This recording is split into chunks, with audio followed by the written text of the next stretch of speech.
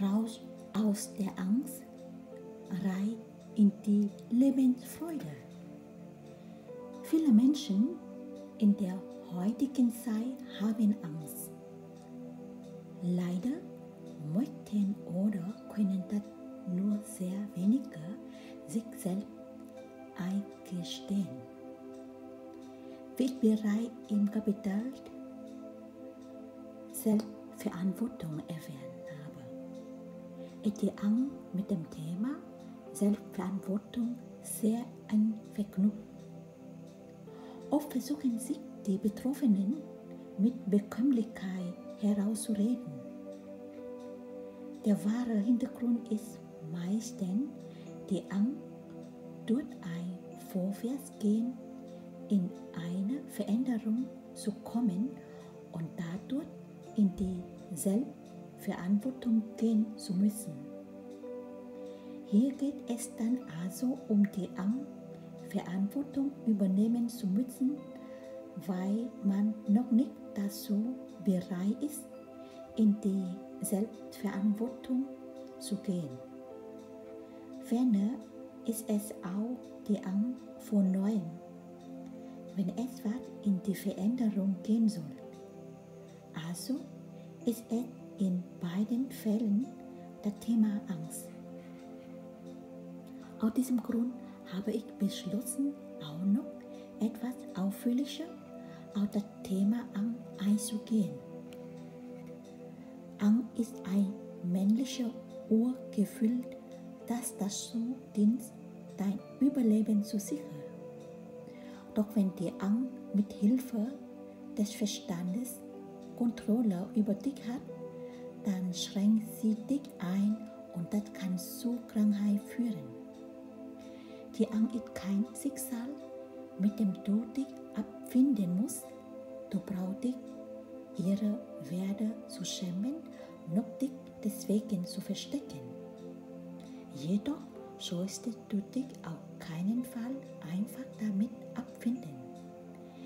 Es gibt wunderbare Möglichkeiten, mit Ängsten umgehen zu lernen und sie in Liebe und Vertrauen zu wandeln, verwandeln.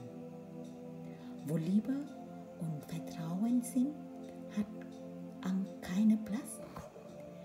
Sätze, die dir hier nicht helfen, das ist doch nicht schlimm. Das wirst du wieder. Reiß dich doch mal zusammen.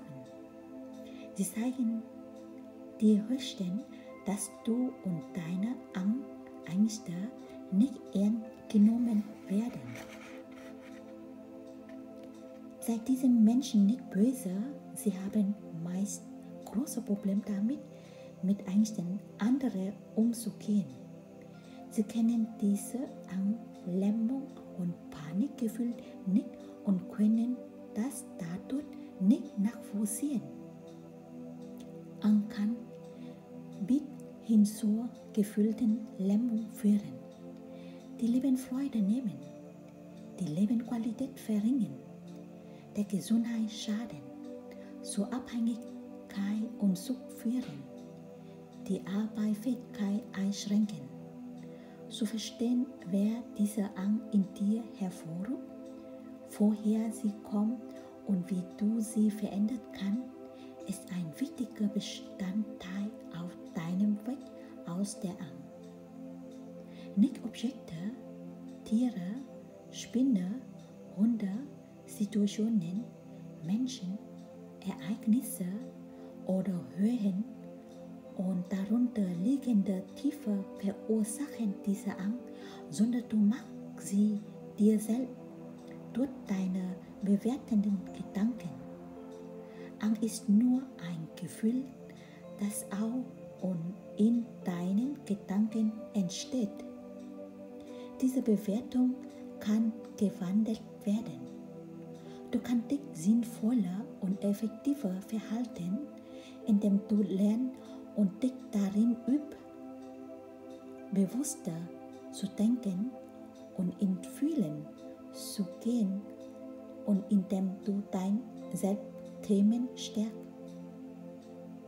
Ein Angstgefühl zum Beispiel während einer Fahrt in der Achterbahn oder bei einem Blick von einer höheren Brücke tief nach unten und so weiter, vergisst innerhalb kurzer Zeit nach dem Erleben wieder. Sogar auch eine Angst in einem extremen Gefahrensituation, was diese Angstgefühle weiter bei dir halten kann, sind wieder deine Gedanken, indem sie ständig diese negative Vorstellung wiederholen. Bedenke, dass alle deine Gedanken, die bewussten wie die unbewussten, für deinen emotionalen Körper Realität sind. Schaffst du es schrittweise, gerne auch mit Hilfe deiner kleinen, deiner Gedanken umprogrammieren, verlierst deine Angst immer mehr die Macht über dich. Deine Gefühle werden durch deine Vorstellungskraft und deine Gedanken gesteuert. Für deinen emotionalen Körper spielt es definitiv keine Rolle, ob du etwas nur gedacht oder wirklich erlebt hast. In beiden Fällen gibt er dieselben Signale an deinen physischen Körper weiter und der Körper reagiert genauso, als ob das, was du dir vorstellst, in Wirklichkeit passiert. Alles, was du dir in Gedanken ausmalst, wird von deinem emotionalen Körper in körperliche Gefühle und Reaktionen umgesetzt. Deine Angst ist eigentlich nur fehlende Selbstbestätigung, fehlendes Selbstvertrauen, fehlender Selbstwert, fehlende Selbstverantwortung, fehlende Selbstachtung und fehlende Selbstliebe. So wie du deine Vorstellungsfähigkeit zur Erzeugung von Angst einsetzt, so kannst du sie auch zur Erzeugung von Freude, Harmonie, Leichtigkeit und Freiheit einsetzen. Und ebenso zur Erzeugung von Selbstverantwortung, Selbstbestätigung, Selbstvertrauen, Selbstwert, Selbstliebe und Selbstachtung. Angst entsteht aus dem, was du meinst, nicht zu verstehen. Also lerne, was die Angst ist, damit du sie verstehen und so mit ihr umgehen kannst, um sie in deinen Alltag zu integrieren. Es bringt dich also nicht weiter, wenn du versuchst, deine Angst zu bekämpfen oder vor ihr zu flüchten. Gewinnbringender ist es für dich, die Angst akzeptieren zu lernen und mit ihr zusammenzuleben. Auch hierzu möchte ich dir ein Zitat aus Barbara Massiniak Buch Die Boten des neuen Morgen wiedergeben. Wir sagen euch ganz ehrlich, dass Angst in eurem Evolutionsprozess immer eine große Rolle spielen wird, also gewohnt euch daran. Glaubt nicht, dass Angst schlecht ist, wenn ihr einmal ein Fisch unterliegt und sie totet nimmt, dann muss ihr ganz durch sie hindurchgehen und alles erfahren, was ihr fühlt, damit ihr sie überwinden könnt. Sagt einfach, ich werde diese Angst umwandeln. Ich werde verstehen, dass sie zum Plan dazugehört. Ich werde verstehen, dass sie mir dienen kann. Denkt daran, dass eure Macht und eure Fähigkeit, Wirklichkeit, willentlich zu erschaffen, dort endet, wo eure Angst beginnt. Und wir sagen euch, Leben bedeutet, der Angst zu begegnen. Blickt auf die Ereignisse in eurem Leben und darauf, wie ihr es schafft. Versteht, dass ihr sie immer hervorbringt um euch zu dienen. Dein Verstand ist ein machtvoller Werkzeug. Er ermöglicht dir, Dinge zu verstehen und in Gedanken vorwegzunehmen. Jedoch hilft er dir leider auch dabei, negative Vorstellungen zu manifestieren. Der Verstand entwickelt ständig neue Methoden, die deine Angst bestätigen, weil er Veränderungen verhindert will. Dein Verstand lebt lieber mit der ihm bekannten Angst als mit der Angst vor Unbekanntem. Alle diese Spiele deines Verstandes haben ein Ziel. Dein Verstand versucht zu verhindern, dass du etwas gegen dein Angst unternehmen wirst. Bitte, bitte fallen nicht darauf herein. Du entscheidest für dich, ob du deinem Verstand weiterhin die Kontrolle überlassen möchtest oder ob du nach vorne in die Veränderung gehst. Wenn du auch zu den von Angst betroffenen Menschen gehörst, kannst du bei dir vielleicht auch erkennen, dass du meist übertreibende Rücksicht auf andere nimmst. Damit stellst du dich und deine Bedürfnisse zurück, nur um Konflikten auf dem Weg zu gehen.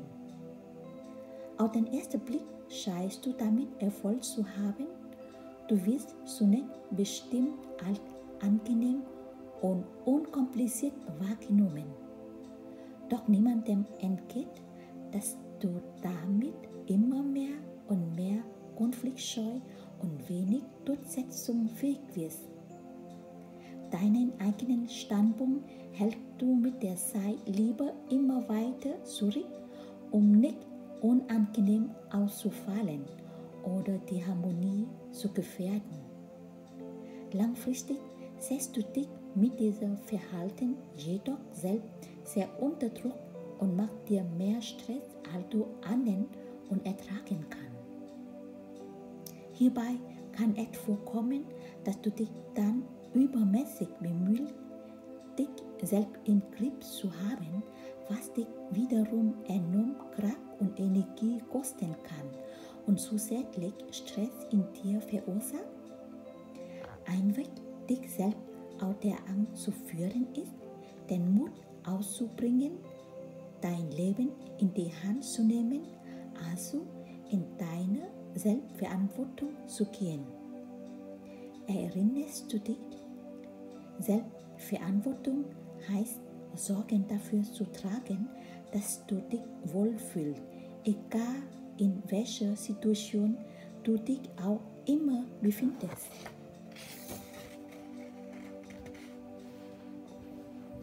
Eine weitere Hilfestellung bittet sich dir, indem du nach und nach Möglichkeit suchst, deine physische Stress und Alltagsstress abzubauen.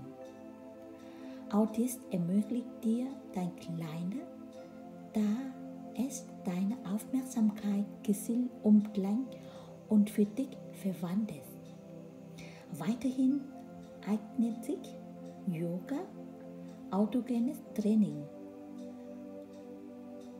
progressive Muskelrelaxation, Meditation, Spaziergänge mit deinem Kleinen in der freien Natur. Joggen wirkt hier eher wie ein Davonlaufen von der Angst.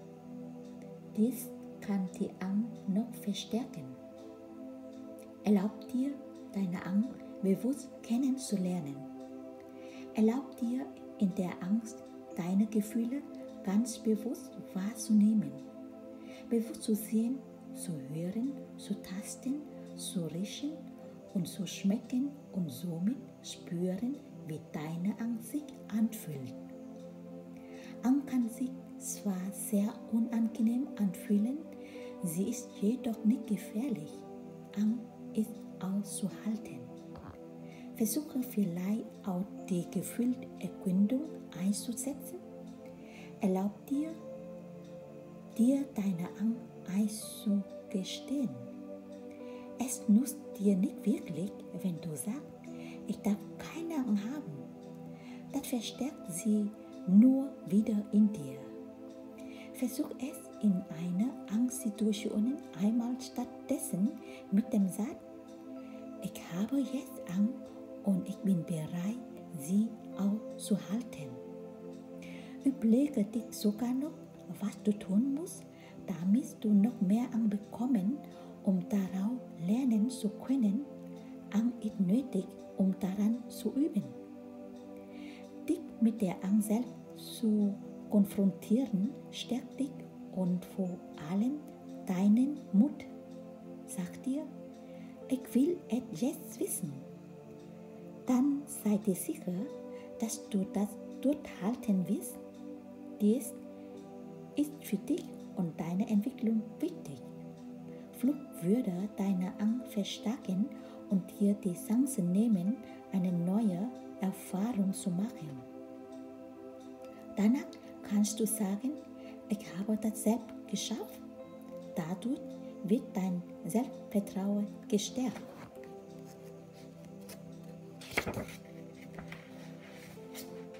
Mach es dir zum Ziel, gelassen mit deiner Angst umgehen zu können. Sie gehört zum Leben. Gebe nicht der Angst die Macht über dein Leben. Ralvado Emerson sagte es sehr schön. Tue, wovor du dich fürchtest, und das Ende der Angst ist dir gewiss. Erlaub dir, diesen Schritt zu gehen. Du gehst ihn nur für dich. Diesen Schritt, der dich raus aus deiner Angst führt und dich damit direkt rein in die Lebensfreude bringt.